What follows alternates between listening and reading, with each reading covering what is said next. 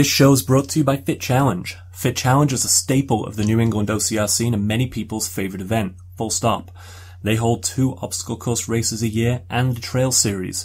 They have three more of those in 2016 alone. With open waves that go off all day, competitive waves in the morning, and multiple laps available if you want to push yourself, Fit Challenge provides something for everyone. The next race is October 26th. The obstacle course race is November 19th. And check out fitchallenge.org for more information. Hi. How's it going? It's going good. Uh, so, um, for the podcast and for the, uh, the brand new Facebook Live audience, um, Ooh, Henry and, uh, I are going to be recording not only for the YouTube channel, uh, but also for the podcast, but we are broadcasting to Facebook Live. Now, we don't have the screen in front of us, so we can't see comments, so we'll just wing this and see how it goes and whether it's successful. And if you're watching on Facebook Live, let us know, and we'll uh, do it again maybe next time. I like winging things. We're good at winging things, aren't Yeah. we? Um, so uh, to this episode, it's been a while since I've done an NE Spahtens TV. Uh, so this time we have Henry Mart. For people who don't know Henry, he is uh, a huge. Uh, he works at Spartan Race. He works uh, does a lot of work for RWB. Owns his own photo company, and he's just a huge GoRuck enthusiast. And, and what am I missing? I also do things with Oscar Mike. Oh, okay, okay. So we're going to dig into each one of those as we chat. Um, and we don't have, as usual, we don't have an agenda, we don't have a form, we don't have a process to follow. We're just going to wing it and see where we end up. Anarchy. I like it. Anarchy. So, how, what were you doing before OCR? So I, I first met you when? Back in, when did you first start OCRs? 2012? 2012, I think it was. Okay. So 2012 Spartan race, I would imagine. Possibly somewhere, yeah, somewhere Yeah. around there. Um, so before you got into Spartan racing, before you got into OCR in general, what what were you up to? What was your life like? Uh, Because you've got into pretty heavy, right? Pretty hardcore, more Yeah, than a I- lot of people do. I got dragged into somehow. Not sure how it happened, but it was like summer 2011. Um, I had just gotten out of like a really long relationship. So I'm like, Okay. oh, sh- oh shit, I have all this time on my hands now. Yeah. What should I do? And there was a random Facebook ad for a thing called Spartan Race. yeah. I clicked on it and the video looked pretty badass, actually. So if it was 2011, then that video would have been from 2010, which I ran. So you're Yes. welcome. well, thank you. so so Spartan race was your rebound. wow. Did you ever think of it like that? Never thought of it that way. well, you have, you know, you have more time on your hands Yeah. and you're like, I was already doing like 5Ks, 10Ks Okay. and regular road races, but I'm like, that looks like, this Yeah. looks like fun. What, what's the worst that could happen? Get sucked in, lose the next four years of your life. And it's like, next thing you know, you're like, oh wait, what, Oh, where crap. did time go? Um, so what were you doing professionally? Were you were you working at that point, or Uh, yeah, I was working like in stadiums, arenas, convention centers, like events management, oh, okay, okay. seeing some interesting events and So you, concerts. so you had a background that was like as your future went on, you ended up working for Spartan. It was. Do you do now for Spartan what you kind of did before? certain aspects, like Okay. uh, the inventory background, because I had an inventory background went to events management, and Yeah. somebody read my resume at Spartan and be like, "Hey, we have this guy who could actually count." Because I was going to say, isn't inventory management just counting and keeping a list? well, a, a little bit more than just Okay. that. But making sure there's enough of these bad boys to go around, okay. make sure there's medals, finisher tees. Okay. I'm the So- guy who makes sure who makes sure that there's shirts for everybody. Got it. Got it. At least at the races I work at, not the other races. not, not everywhere, just the ones I everywhere. work. Don't send me hate mail, please. um, so trifecta medals, 2013. Hmm. I was not working in the time. Good recovery. Uh, so, so you got into the first race, so that was like 2011. Did you just do one and done for a year and come back the next year, or did you just suddenly go off and find all the local races, hit the road, travel? Funny thing about that, I was still living in Jersey, and my first one I signed up for was Amesbury 2011. I was registered for that Sunday. So you drove up? I was planning on taking the Greyhound up, Wait, Amesbury 2011 wasn't that the hurricane? Yes. Ah, okay, all right. so I was in New York getting ready Yeah. to hop on this bus to go up there because I have family up here. I'm like, it'll Yeah. be a fun trip. Yeah. And then we get a notification that it's been canceled, like the bus has been canceled to go to Massachusetts. State of emergency. If you don't know, Hurricane Irene. I, Hurricane Irene blew in. I'd ran the Saturday and then they had to shut down Sunday. And that's where the Hurricane Heat was born because Joe DeSena said, if you can be at the parking lot at five in the morning, I'll make you do burpees and carry heavy shit for a while. And that was the Hurricane Heat, right? So did you get into that or were you there? And how do you, No, I was wasn't able over? to get into the state at got all. it. Got it. So you got, you got locked out. I, well, it depends on your definition of locking out. Yeah. I had to turn back around and I'm like, shit, that was supposed to be my first one. So you found another one, tra- they, they offer transfers, right? Yes, um, they automatically transfer everyone over to the following year. So Okay. Like, but I kind of didn't want to wait till the following Yeah. August. And, um, Tuxedo 2012 ended up being my first because that. Okay. I didn't feel like waiting. So one of my roommates saw the video and he's like, that sounds badass. Yeah. Let's do this. Yeah. So we signed up for Tuxedo 2012 and ran that one. Okay. Next thing we know, we're like, hey, let's do the super. Why not? Well, that's because that would have been the first year of the trifecta, right? yes, that's so, first so year. were you on a trifecta hunt? Did you do a beast that year? I ended up doing a beast and Okay. getting Cool. the special medal, the Yeah. t-shirt, and the name on the website. Yeah, yeah, I remember that because that, that when they used to track it. Um, Yeah. were you, did you do Killington? I was supposed to do Killington, but my day job needed me to work. Yeah. So, um, they were nice enough and actually transferred me to South Carolina. Okay. All right. So I, I know that was the first year of the Killington Beast. I didn't do that one. I did the next year. Um, but I know people who did, and they said it was pretty special. Uh, so you end up doing the Beast in South Carolina, and, and was it just Spartan at this point? Had you gone on to do what? You done Tough Mudders or anything It like was that? just Spartan at this Yeah. point because I was I was still fairly new, so I wasn't Yeah. 100% into it. yeah. And it, you didn't have all these local companies popping up left and right like you do nowadays. Yeah, yeah, absolutely. Um, so, how did you go from? Well, I think I know the answer, but how do you go from from attending a couple of races to ending up where you are now? So you work for Spartan right now, right? Yes. Now, is that considered full time or part time or like contracting? How does It's- that work? Kind of part-time contracting, if Yeah. that makes us any sense. So you just do select races or, s- or like regional races? Pretty much they'll send me emails asking if I could work so and so race, and Yeah. I say yes or no. Okay, all right, I say yes, they book me, and I book my flights, and I go. okay. And what do you do for them when you go to a race? Because you work race day, right? You don't work in the office. You don't. I do like uh, the setup usually. Okay. So Yeah. I'll be there um, the, whole week before doing inventory and helping set up for most part. Okay. So you get race day off? No. No. so if you choose to work, you choose to not race. From yeah, for the most part, because Mhm. um, you can't really work and race at the same time. Yeah, no, absolutely. Well, I, I know it's something that I've heard from from people in the past. Is if you if you work for Spartan Race, you tend to not be able to run the Spartan races, which for a lot of people that's like a conflict of interest because they want Yes. to work for them because they like running them, and then they find they can't do both. Well, You can do both because you're not always working every single race. Like um, last weekend, I ran Palmerton, Yeah. and uh, last month uh, I was working the sec- second weekend of Tuxedo, Mm-hmm. so I drove down and ran the first weekend. Okay. All right. That's It's doable, but yeah. But you, if- if you you can't work and race together, it's it's you can't mix two. it's very rare that Yeah. it can happen. and that makes sense. Yeah. It, it's just I think for a lot of people they they have the uh, the glorious idea of I'll get paid to go and run the Spartan race, and No, it doesn't work that not way. how it works. You can't jump in expecting to be able to work and race. If Yeah. for some reason um, they you're able to run a race, then yes, more power to you. But you can't walk in there expecting to be able to run the race that you're working. Um, how many races do you cover a year, roughly? It varies. Um, there's a six week period where I think I was home for like four nights. Oh God. Uh, and uh, so, how did you end up with the job? Like how? Because again, like we said, it's for a lot of people, it's like their ideal circumstance Yeah. to be hired by a company that they enjoy work running and participating in. Now, I understand that the way you tend to get hired by Spartan is simply being around long enough and becoming like part of the group anyway, and then they're like, okay, fine, we'll pay you to do this. They just absorb you. Yeah, they just get sick of seeing you, right? like, oh, you're here again. Here's the staff shirt. Come on. yeah, go on, get on the get on the payroll.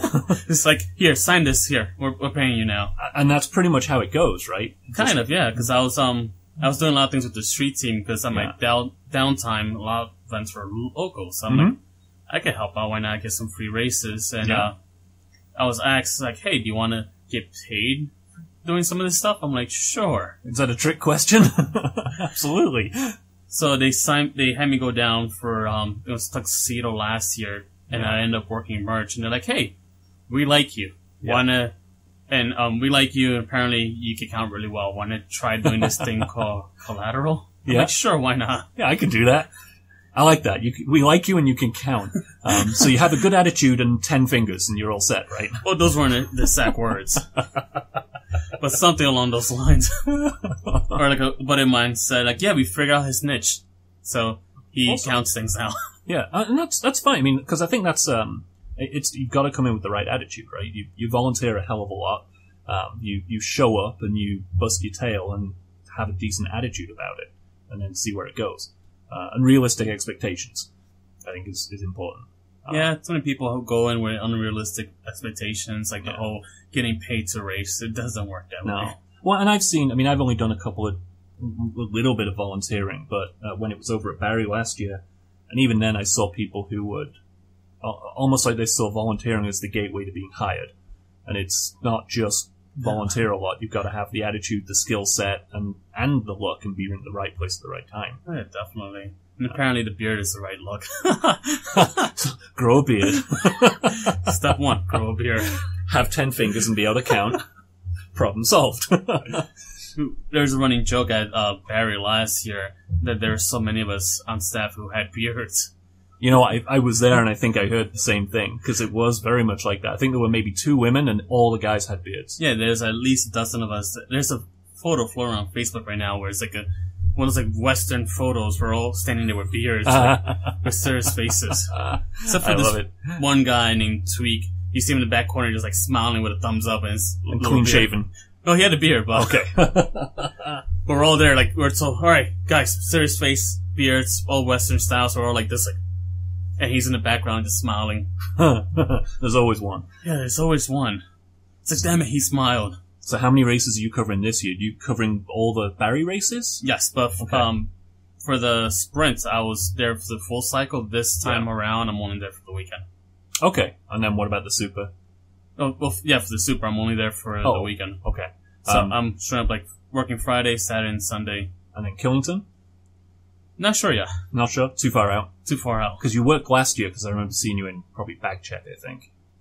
Maybe. Yeah, I had this sweet setup. I was indoors. That's right. Out of the weather. Um, okay. And then I know that Fenway is completely separate, right? No, there's no, like Fenway's complete separate team. Well, a lot of us still work like stadium races. Like last year, Okay. I worked Fenway as well Yeah. because I last year I did Fenway and I hopped right down to Citizens Bank Park. Okay. All right. Very convenient because like, all right, we're done. All right, let's drive down to Philly now. So, along with the Spartan stuff, obviously, I mostly see you online doing a lot of RWB, and then, as you said earlier, the Oscar Mike stuff. So, how does that? How did that all come about? Like, how did you end up? Were you doing a lot of charity and, and veteran work before you came up here? Before you came to Spartan, or is this something that it all came together? Because there tends to be a lot of overlap.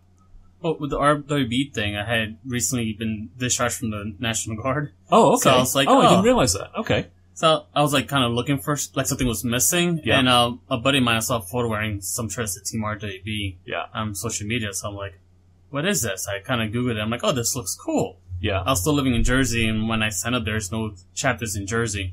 Okay. So I'm like, "Oh, I'm part of this now." They Yeah. sent me a shirt, but there's no chapters in my state. yeah. So they um they assigned me to the New York City chapter, which is fun, except for the fact that it was like at least an hour train ride Yeah. to their events. So I was part of the group. I wasn't really involved until I moved up here. And When did like you move up to New England? October 2013. Okay. All right. And um, for Fenway, I had thrown my RWB shirt in my rucksack, and I had um, my OEW shirt and a couple other things. And a buddy of mine who's very involved in the Danbury, Connecticut chapter. Mhm. He went up to me, he's like, "Hey, you brought your RWB shirt?" I'm like, "Yeah." Why? He's like, "We're having a huge heat. Put on your shirt. Let's go." Huh, You're one of us now. I was always like part of the organization, Yeah. but like I wasn't as involved because there was no chapter by me. yeah. And he's, and he's like, "Oh, did you transfer to Boston yet?" No. Here's the Boston chap- chapter captain, Yeah. which at the time wasn't Chris. It was uh, Joe Henningsen. Okay. So he's like, "All right, this is the chapter captain. This is your guy now. Yeah. He'll get you whatever you need." So what do you do with it? So for people who don't know, what you give the like the, the fifty thousand foot overview of what RWB is, And then what? How? Because I know the chapters. There's a lot of local chapters out here, right? Is is New England a busy region for them? Well, for New England, we have um, one in Rhode Island. We Yeah. have um, Boston, Worcester. We have Springfield now. Okay. We have one in the Berkshires as well. Yeah. We don't talk about them; they're kind of far. They're not really us. They're they're Western Mass. there be dragons over in Western Mass. yeah, we don't know what happens in Western Mass. I, I hear that a lot, and Western Mass is usually defined as anything outside 495. yeah, it sounds about right. Yeah, yeah, I hear that a lot. There's a Manchester chapter now. Yeah. Um, okay. there's two in Maine. We even have one in Burlington, Vermont now. Um, so, so RWB as an organization, they're focused on veteran athletic pursuits. Is that correct? Well, by textbook definition, is um, enriching the lives of America's veterans by Yeah. connecting them to the community through fiscal and social activities. Yeah. But it's more than that. It's like almost like um rebuilding that brotherhood that you lost from Yeah. when you were in the military. But it's not just open to military because Yeah. one of the goals is to um, bridge the gap between both veteran and civilian communities. Okay. Yeah. So our membership's open. It's free for anybody to join. Yeah. And it's open to both veterans and civilians. Yeah. We don't care w- where you come from. Sure, come on in. Yeah. We have ice cream. we have cookies. Come on in. we in. have cookies. Come on in. But like, so we host like different events and we do partnerships. Like in the Boston chapter, we have partnerships with uh, CrossFit Lowell and Lowell. Yeah. They um every month they give us a class just for RWB members and veterans to just walk off the street and participate for free in this class. Yeah. Sorry, that's the Facebook Live kicking off. I was seeing if anyone had a comment, and they uh, they may. And So- another gym we partnered up with is uh, RX Strength Training down in Somerville. Yeah. Every month, uh, Jeff Buttersworth puts us through this torture class. Not really torture, but it's like really good class. It focused on like team building. Mhm. We do a lot of buddy workouts. Yeah. And uh, another place we do partnership with is Marathon Sports in Boston Yeah. and in Mansfield, where uh, Shane, the manager from the Boston store, he pretty much just welcomes us to their weekly run, and he's like all about RWB and helping veterans. We do like joint events with them. Yeah. We so did. I, I see a ton of photos and social media posts from from people from NES because there's a fairly big overlap between the groups, and there's always the is it the Lowell week, weekly run? yes, is we have weekly? three weekly runs. So Okay. one in Lowell, there's on Thursday evenings. We have one in Mansfield, also on Thursday evenings, and then our main ones in Boston on Yeah. Wednesday evenings. And I think I mostly see the CrossFit Lowell workouts get posted. Yes. Um, so so RWB is free to anyone, but it's it's you know primarily about getting veterans back out into society and giving them Yes. giving everybody involved. Um, and what what's your role with them? Because it's my understanding again is there's a lot of uh, obviously being military focused, there's a lot of structure in roles and jobs. Whereas like NES, we just wing it. Well, we're good at winging it, but uh, RWB doesn't seem to wing it. Just- Chris and I wing it sometimes. okay, fair enough. you do it well enough, nobody notices. Yeah, we're like, yes, we meant to do that. Sorry, Chris, we're letting our secrets out now. But we do have a structure. Like, um, Chris is a chapter captain, yeah. and then I'm the outreach director, and then we have like a athletic director. We have a social director. Okay. We have somebody who does our um our newsletters. Yeah, that's yeah. I mean, we we do that, but still wing it. Like we do like structure calendars and everything. Like every quarter, I'll put like a calendar, yeah, and it's like, oh yeah, this is our main events. But then we also have other smaller events as Yeah. well. um, and then do you do similar stuff for uh, for Oscar Mike? Because that's a similar idea, right? It's Yeah. Well, I don't do the same exact thing with Oscar Mike. okay. It's more like a smaller role. Like I'll photograph and film things for Okay. Oscar Mike. Now, what? So for the people who don't know, um, what's what's the difference between RWB and an Oscar Mike? What's the two uh, groups? They're two separate charities. They're not Yes. related, right? Um, so so what's the difference between the two? Oscar Mike um has the Oscar Mike Foundation, where Okay. their goal is to get wounded veterans back to being active and um, on the move. Because Oscar Mike is military terminology for on the move. Oh, okay. I had no idea. So their goal is to get veterans who are injured or disabled. Well, not really disabled. Disabled is a horrible word, but Yeah, adaptive yeah. um, service members back to being on the move, being active. Uh, they recently had a rug- their rugby team win some sort of championship, which is pretty cool. Yeah, yeah. I mean, I've seen um, adaptive rugby and, and any of the adaptive sports. It's insane. It's insane. They're Yeah. really hardcore. Yeah, they are. Uh, so what do you do? And so for those you you tend to be um, like photographer in trail, like they drag you around wherever they go, and it's your job to keep up. Well, like, well, like, um, I got involved through a buddy of mine, um, Earl. He was, he got, he became like their spokesperson. Yep. And I always raced with him, and then, I know Earl, social media Earl. I don't know Earl as a person, but yeah, actually, yeah, 'cause, um, we always raced together, and he got involved with Oscar Mike. He's like, yeah, check this group out. okay. And I was always with my GoPro or something Yeah. similar. So I'm like, yeah, here, I'll make the, I'll edit this for you guys, and here, have it for free. So I like that. If you show up with a camera, that's it. It's the guy with a camera. You're one of us now. Follow us.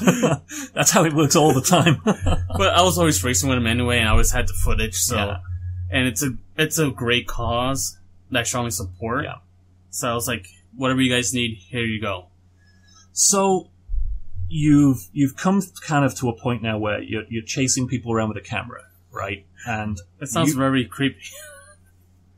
windows are not involved. It's he's typically actually following them, and they typically invite typically invited him. Typically, Typically. So now you've just opened up uh, Mart Photography. uh, yes, uh, So you- Marte, yeah. Mate, sorry. So you've just opened up your own photography business, right? Now, as many people know, I'm also a photography geek, and that's something that, while I would have loved to do, I did not have the balls to do it.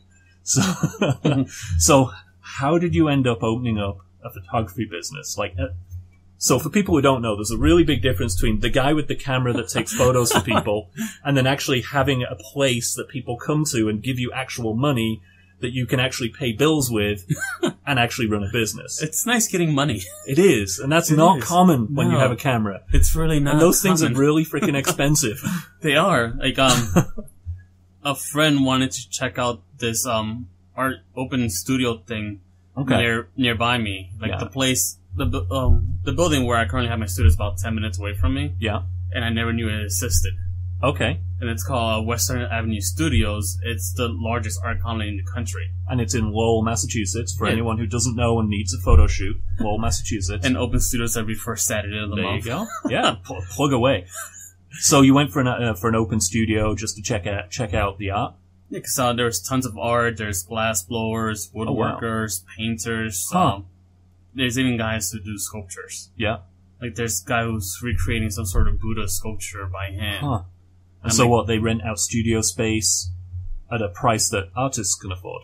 Yes, it's actually reasonable. Yeah. I, I, I think I have about 260 square feet, and Okay. I pay I think 226 a month now. Okay. That's Yeah. all utilities included, Yeah. Wi-Fi, everything. And when they gave me the price, I was like, "Wait, that's it?" They're like, "Yes, that's it." Like- Sign me up. Yeah, where do I sign Yeah. up? Yeah. Uh, so you open the studio. I mean, you, I've seen photo shoots come out. I mean, you do solid work. I mean, you do studio stuff. You do like outside, uh, you know, regular stuff outside. Um, do you focus on a specific genre? Do you just is it athletes? Is it whoever shows up? Pretty much whoever shows Yeah. up. I kind of wing it sometimes. Yeah. I don't like being stuck in one specific genre. Like, Yeah. There's so many photographers like in our build. We have photographers in the building, and one there's one corner of the building where you'll have one fine art photographer, you'll have one portrait photographer, and then you'll have one who's more like artistic landscape. Yeah. And then you have me who's just like, oh yeah, I'll do all that. I'll do anything. I'll do anything.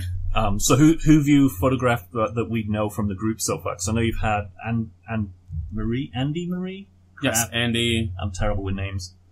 Yeah, Andy and I recreated a painting Yeah. that's hanging off on our on Earl's uh, wall actually. Okay. So like the whole outfit, the mask thing, the buff was right off a painting on That's his wall. awesome. Those are really striking. I like those. So we are like, all right, let's recreate the shoe, like Yeah. the painting, like if she came to life, Yeah. more or less. That's awesome. And it's my studio's in the old mill building, so we have tons of old looking things and Yeah. railroad tracks. Yeah, I like that. I like that a lot. Um, You, you like that one? The next one's gonna be a lot more geekier, and it's gonna be I'm like geeky. I'm big into geeky too. That's it's gonna be very mind blowing. The next one. That's fantastic. And so, do you do? Uh, do you keep your a day job, or do you just kind of bounce around different roles now and you know pay the rent, pay the bills with with Spartan, with photography? Pretty much uh, with Yeah. Spartan and photography. So I, I could I could use more photography work. Yeah, I hear you. I also like on my I have a website set up Mhm. since I go on the road quite often. Yeah. So it's difficult to fulfill prints when you're on the road. Yeah. It's like I found this like great website, PhotoShelter. Yeah, yeah, I know Photo- Photoshop. I use Zenfolio, but similar idea, yeah. Oh yeah, would you partner up with different printers and they fulfill the orders for you, which is Mm-hmm. Yeah. great. Yeah. Because um, there's one time I was on the road for two weeks and I had an order come in the day after I went on the road. Yeah. Yeah, So- it's really tricky. now, I'll show you what I do later on. It's a similar idea. Um, so, I mean, just kind of coming back around. So you've, you've gone from a full day job, you found the OCR bug, like, like everybody finds the OCR bug that's listening to this show anyway. um, and now it's effectively your life, right? It's Yes. the athletics, the Spartan working, and all that kind of stuff. So, does that take away from your enjoyment in running? Does working a race take away from actually participating and going out there and doing the race? It's not the same anymore. Yeah. Like there's still enjoyment in it, but it's not exactly the same because um, Yeah. I guess a different mindset. Yeah. Because it, it's kind of hard to get away from the work mindset as as well as fully just run in without any worries. Yeah. Now, did you ever run a course? Or did you ever run as a competitively, like not as an elite athlete, but did you ever go out there specifically to get time? Because I know mostly, for most of us, once we've been around a while, we tend to run the course specifically with friends, specifically with groups, and, and we don't really give a crap about time anymore. Which I assume is Yeah. where, where you're probably at, right? Yeah, I don't Yeah. care about time. Uh, now, did you ever do that? Did you ever run the courses and be really concerned about where you placed? Or not really. okay, that's fair. I, I know some people do, and yeah, Uh, There's more things to life than placing. Yeah, yeah, I, I'd agree with that. End of the day, what is that place really go- going to get you? Uh, nothing. Well, No. maybe, maybe a block. Maybe a block, but maybe a block. I'd, I'd rather be the I'd rather be the guy who's crouched down on the ground, giving somebody a boost over the wall, Yeah. than the guy who's placing.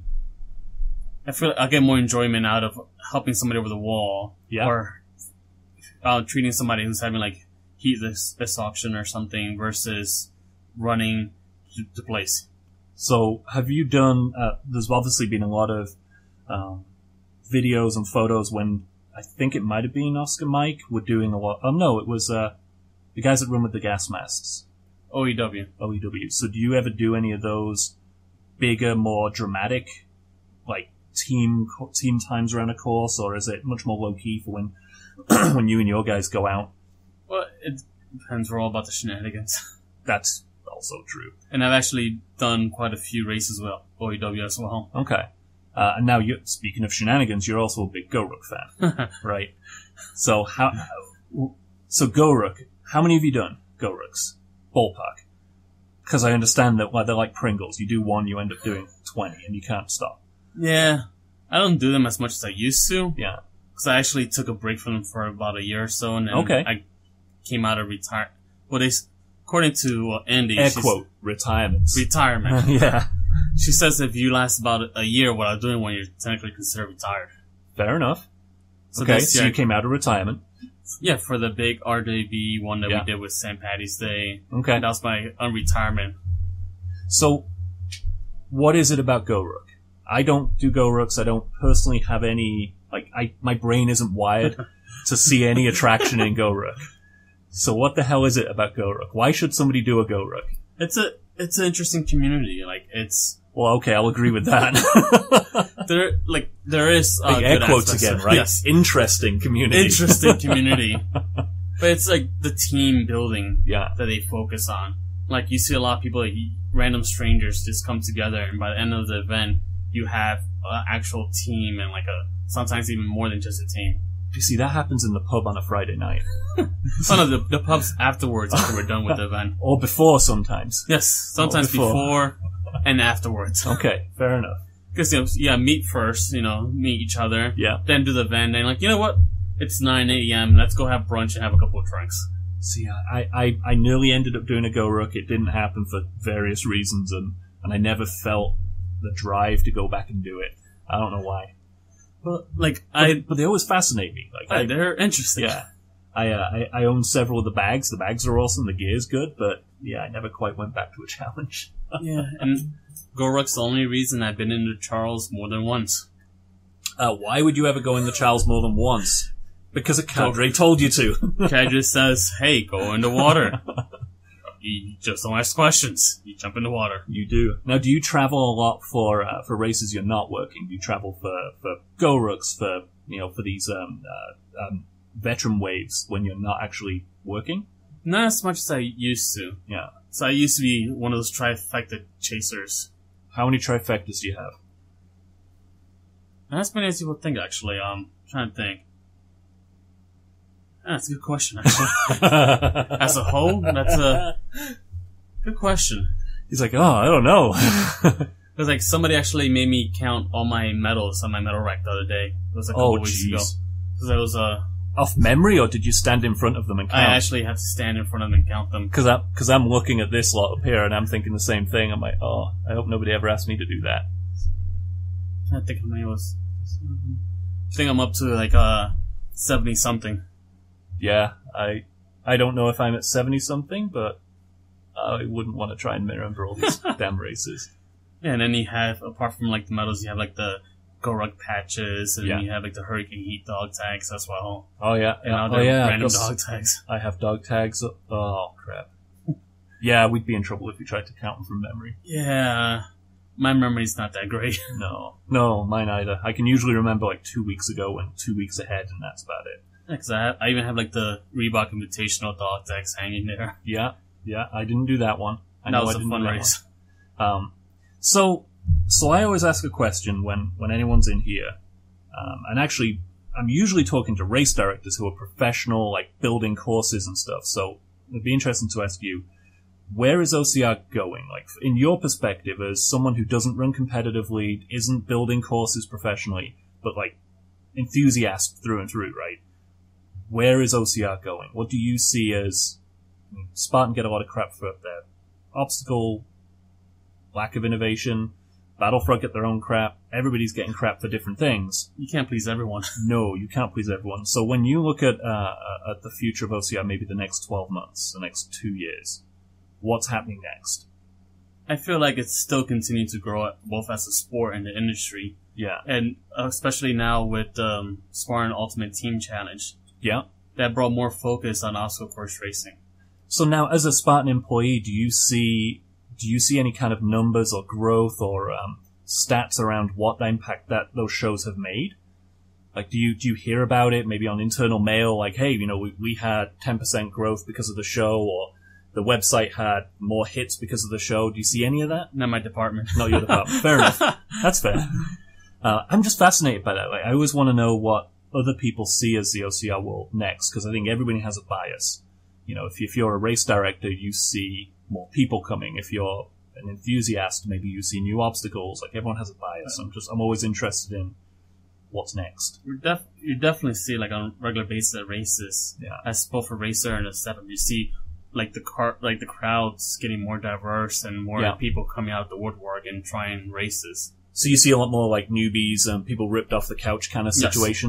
Like um the one that when I ran the super last weekend, I gave out at least half my own water to people on the course that were brand new, first time doing a race Yeah. ever. I so when two maybe three years ago at New Jersey, um, I don't know what it is about New Jersey, but New Jersey seemed to get a lot of new people and a lot of new people who were woefully unprepared. Back then, it was only a super distance, but uh, I remember vividly like guys in cut off jeans and Chuck Taylors. That sounds about right. Yeah, and and they were clearly like not wearing it because they were so tough they could get away with cut off jeans and Chuck Taylors. They were wearing it because they had no idea what to expect. Because they were like, why not? They were winging it. Yeah, they'd been dragged along by a buddy, or they, you know, they'd hopped in the car one day, and I, I just, I don't know. I mean, I, I see people doing that, and I think, are they going to come back? Like, did they have any fun? You know, when they went home, and they, they did they actually have any fun that day? They're probably like, that sucked. I'm never doing that again. I guarantee at least 50% of them, a day or two later, they're like, you know what? I want to come back and do Yeah. it again. Yeah. It's difficult to just do one and not come back. It is. I think I've only ever spoken to a small group of people who say, you know, like, oh, they ran a race and that was enough for them. I, I don't think I run into that very often at all. No, it really doesn't, because most people, they want to, like, they have, a- after a while, like a couple of days, once all the heal, all the bruising and the swelling goes down, and they see the medal, they're like, I want another one. And they forget about how much it hurts. Yes. Yeah. they forget about the, how much it sucked, Yeah. and like the bad parts, and they just remember crossing the finish line, or they'll get their race day photos like a week later and be like, Yeah. wow, that's a really cool photo. I have a new Facebook photo or a new Tinder photo or something like that. Where people use nowadays. photo. Whatever the cool kids use these days, right? Wherever, wherever the cool kids use these days, either Facebook, Twitter, they get the photos and they put it on there, and it's like the cool new thing now to I have a think race Snapchat photo. is the, the cool thing these days. Yeah, And but I'm- you don't I'm- really use profile photos for Snapchat. Oh, I have no idea. I'm too too old to know how to sna- how to Snapchat. I've tried. I don't get it. You're not missing much. Okay, fair enough. Um, so so all right, well, we're getting to the point where we can start wrapping down. But uh, I had a question for you. You work race days, and race days are usually full of all kinds of people. What's the so you like we just talked about the newbies, the people who show up in jeans and don't know what they're expecting. When you're working race days, what's the kind of do you have a crazy story from race day that you've uh, you know, someone Crazy you've worked story. at and being like you're going to have a bad day, or you know those kind of things. Wow. Like, what what sights do you see when you're working race day? You see some interesting sights, like people dressed up in all sorts of weird things, including like males dressed like in male thongs sometimes running around. Uh, sadly, we sometimes know those people too. Yes, sadly we know those people too. and, and they want to hug you. yes. Apparently I get a lot of hugs from random strangers. Yeah. Well, no, they're not strangers. They're people that Well, know you're yes. wearing mankinis. I, Yes. I'm, I'm thinking of one person in particular, but oh, I am thinking of that same person as well.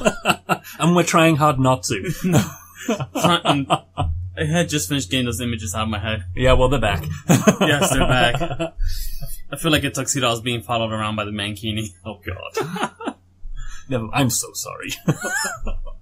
But like you see all these different sites, like the people from all walks of life. yeah. Like my favorite racers aren't like the elites who run the course in 40 minutes. It's like the last racer. Yeah. Like it's always like, The like guy at the end. yeah, the guy at the end. Like they always have an interesting story as to how they got there and what kept them going through the entire Yeah. course. Yeah. It's like I'd rather be at the finish line for the last racer than for the elites that cross the finish line. Nothing against the elites, but I feel I relate more to the the last racer. Yeah. because it takes more, I guess, um, determination to stay on the course that long. Yeah. Especially uh, with the heat, like in Palmerton, um, the last racer, I forgot what time they crossed, but it was pretty dark out. Yeah. And to continue going up and down that hill, once it got dark and you stopped seeing people, that's a lot of determination. I think there's a there's always a lot of stories. I mean, that's where the Chris Davis story came from. Yes. You know, he was the last guy off the course, and um, I agree with you. I mean, the last guys always have the, the best stories. Because I think it was um, at the Barre Sprint or the Boston Sprint. Mhm. The last racer, it was these three uh, women. One of them already walked in with a bad ankle. Yeah. She taped it up and they still went on course because she said that she had signed up with her friends and she wasn't going to let them do it by, by themselves. Cool. So the three of them walked the entire course at their own pace, and even though she was in pain, they still finish the course. That's awesome. And and I think there's a every event we go to, there's stories like that, and I think we don't always see them. And you know, it's uh, they tend to happen later in the day, towards the back of the pack. Um, Yeah, when most of the people have already cleared out the festival area. That's why one of my favorite zones to cover is the finish line. yeah, Because you see not just the last race, but so many interesting people cross the finish line. You're like, wow, this person did this. This person's been still alive. This person's in a wheelchair. Yeah, At the Palmerton Super, um, Lindsay from Team Believe was the first paraplegic to get a trifecta. Oh wow, And they brought her wheelchair up and down the mountain several Yeah. times. that's awesome. They even um, lifted up her legs and she wheelbarrowed up and down. that's awesome. I love stories like that. Yeah, Uh, and she still finished. Yeah. Um, I did a uh, a 10k race in the UK when I went back, and it was one of the muddiest races I've come across. But it was also in open field, like really really steep sloped field, and they had a section of the course that was probably a good two kilometers in length that was snaked down the hill, up the hill, down the hill, up the hill like this, about five up and downs You sure Norm wasn't there? or even worse, each of the up and downs had an obstacle. So the ups had hurdles that you had to step over, and the downs would have a crawl. And there was a guy in a wheelchair, and his team were bringing him through the course. And I saw them at these hurdles, and there were th- so there were three up sections that had hurdles, And I'm not talking like two or three hurdles. We're talking waist high, probably ten of them on each of these uphills, and they every time picked this whole freaking chair up, lifted it over, lifted it over, lifted. I was like, oh my god, that's that looks brutal. Oh yeah. Uh, The determination, determination to just do Yeah. that sort of thing and just continue pushing regardless of Yeah. your physical abilities. so, closing question: your favorite race? Race, not so much race brand, but your favorite like race day. What's your best memory? Whether you were working, whether you were whatever you were doing, your favorite race. It's funny because uh, my favorite race is actually the, the Fenway Sprint. Okay. It's just funny because I'm a Yankees fan. Oh dear. I grew up in New York, so That's that's uh, well, I don't care, but now you've put it out there, you might get lynched on your way Yep. to Fenway next I'll week. probably this get time. lynched. I'm sure they'll have sharpshooters on the rooftop, or they'll have my picture at the game when I try walking in, they're like, "Oh yeah, you're banned from the building." Or so something. we're gonna buy you a drill shirt on the back as a Yankees fan, and we'll send you in and see what happens. um, what could possibly go wrong? so why the Fenway Sprint? because I grew up um playing baseball and being a Okay. huge baseball fan. So it's the baseball connection. The baseball connection, Yeah. and even though it is Fenway Park, and Yeah.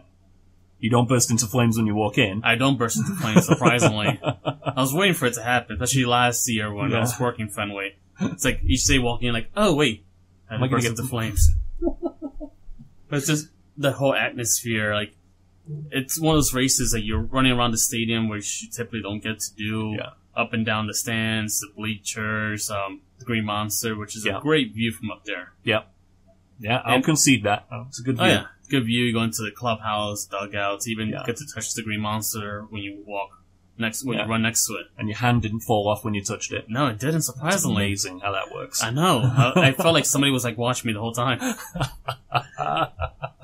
and the, the cool thing about the stadium races, at the end of it, you're not completely covered in, like you can still.